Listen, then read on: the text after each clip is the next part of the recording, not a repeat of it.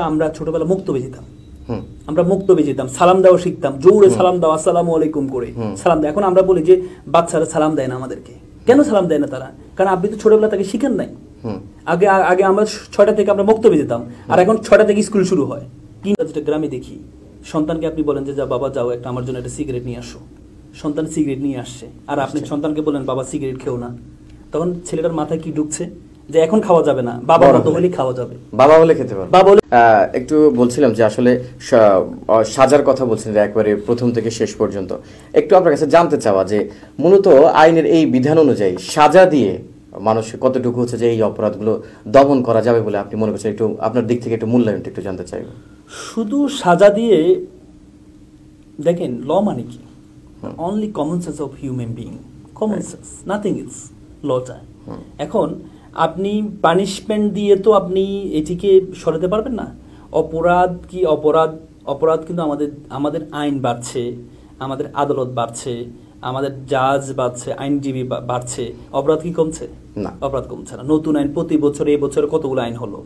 আপনার ভূমি আইন আইন প্রতিকার আইন হলো আপনার ডিজিটাল সাইবার নিরাপত্তা আইন হলো কতগুলো আইন হলো? কিন্তু অপরাধ কি কমছে? অপরাধ কমছে না। অপরাধ করার জন্য সোশ্যাল ভ্যালুসগুলো আমাদের সমাজে নষ্ট হয়ে যাচ্ছে। আমরা যে অপরাধ করছে সমাজে আমরা যে অপরাধ করছি অপরাধগুলো কিন্তু বলে না charity begins at home right পরিবার থেকে বদন্যতা শুরু হয় পরিবার থেকে। আপনি যে ছোটবেলা থেকে সন্তানকে সেভাবে যদি মোটিভেট করেন সেভাবে যদি তাকে দেখেন আপনি আপনি ছোটবেলা আমরা যেটা গ্রামে দেখি সন্তানকে আপনি বলেন যে যা বাবা যাও একটা আমার জন্য একটা সিগারেট নিয়ে আসো। সন্তান সিগারেট নিয়ে আসছে। আর আপনি সন্তানকে বলেন বাবা সিগারেট খেও না। তখন ছেলেটার মাথায় কি ঢুকছে? যে এখন খাওয়া যাবে না বাবা মতো হলে। খাওয়া যাবে। বাবা বলে খেতে পারব। বাবা হলে খেতে পারব। তার মানে আপনি সিগারেট তাকে নিষেধ করছে সিগারেট খেও না কিন্তু আপনি সিগারেট আনার জন্য তাকে টাকা দিচ্ছেন। রাইট তার মানে এই যে cigarette is the very beginning stage of আপনার এই অ্যালকোহল অ্যালকোহল হ্যাঁ। এটা কিন্তু প্রথম ধাপ। আপনি সিগারেট খাচ্ছেন সিগারেট থেকে আস্তে আস্তে আপনি ওয়াইন ধরবেন বিয়ার ধরবেন আপনি এভাবে করে করে কিন্তু আপনি নেশার জগতে চলে যাচ্ছেন। হয়ে যাচ্ছে। চলে যাচ্ছেন। তার মানে আপনাদের বাংলাদেশে এত গ্রেপ্তার হচ্ছে মাদক মামলা। মাদক মামলা কি কমছে? না। আপনি দেখেন ঢাকা করে সবচেয়ে বেশি মাদক মামলা। তার আচ্ছা, আচ্ছা। আহ, কমছে। এত আইন এই হিরোইনের জন্য মৃত্যুদণ্ড বিধান আছে। অপরাধী কি কমছে? না। এই জন্য সোশ্যাল ভ্যালুসগুলো নষ্ট হয়ে যাচ্ছে। আপনাকে ওই জায়গায় কাজ করতে হবে। আপনি দেখেন এটির বড় কারণ হচ্ছে আমরা ছোটবেলা আপনারা আমরা ছোটবেলা মুক্তবে যেতাম। আমরা মুক্তবে যেতাম সালাম দেওয়া শিখতাম জোরে সালাম দাও আসসালামু আলাইকুম করে সালাম দেয় এখন আমরা বলি যে বাচ্চারা সালাম দেয় না আমাদেরকে। কেন সালাম দেয় না তারা? কারণ আপনি তো ছোটবেলা তাকে শিখেন নাই। আগে আগে আমরা ছয়টা থেকে আমরা মুক্তবে যেতাম। আর এখন ছয়টা থেকে স্কুল শুরু হয়। কিন্ডারগুলো ছয়টা সাতটা থেকে শুরু হয়। এই মুক্ত এটা চলে যাচ্ছে। আপনার যে ধর্মীয় শিক্ষার যে অনুভূতিগুলো ধর্মীয় শিক্ষাগুলো আমাদের Foundationটা। চলে যাচ্ছে। আমরা কিন্তু সেটা পেয়ে আসছি। আমরা যে প্রথম সুরাগুলো আমরা কিন্তু মুক্তবে শিখেছি শিখেছি। সালাম দেওয়া মুক্তবে শিখেছি বড়দেরকে শ্রদ্ধা করা মুক্ত মুক্তবে শিখেছি শিক্ষকদেরকে দাঁড়িয়ে যাওয়া মুক্তবে শিখেছি আমরা। এগুলো কি এখন কি আমাদের নেক্সট জেনারেশনের কাছে আছে এগুলো? নেই। তার বড় একটা কারণ হচ্ছে আমাদের শিক্ষাক্রম। আমাদের শিক্ষাক্রম। আমরা যে নতুন যে দুই হাজার তেইশ সালে শিক্ষাক্রম আপনি চালু করেছেন এই শিক্ষাকর্মে আপনি ধর্মকে আপনি উচ্ছিক করেছেন। ধর্মটা শুরু করতে হবে ছোটবেলা থেকে।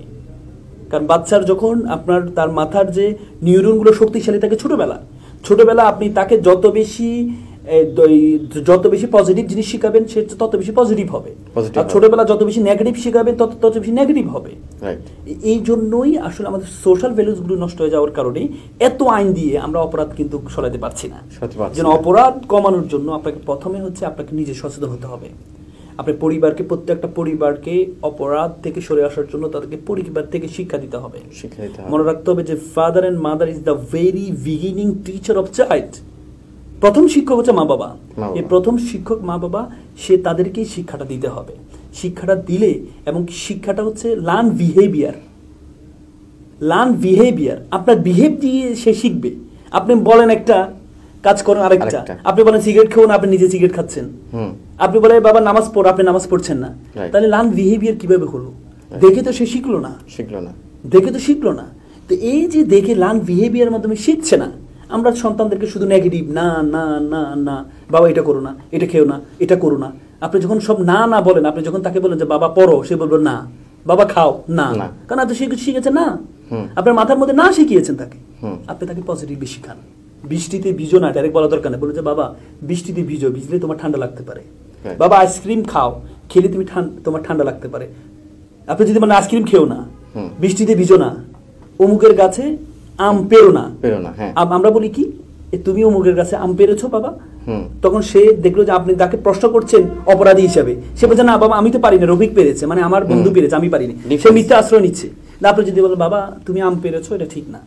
অন্যের কাছে অনুমতি চান আম পারা ঠিক না। আপনি কমেন্টটা এইভাবে করেন সন্তানকে তাহলে সন্তান সেভাবেই Right. তো সুতরাং এই লার্ন বিহেভিয়ার এটা যদি আপনি শিখাতে পারেন অপরাধগুলো যে অপরাধ এটা যদি আপনি শিখাতে পারেন তাহলে এত আইন কোনো প্রয়োজন নেই।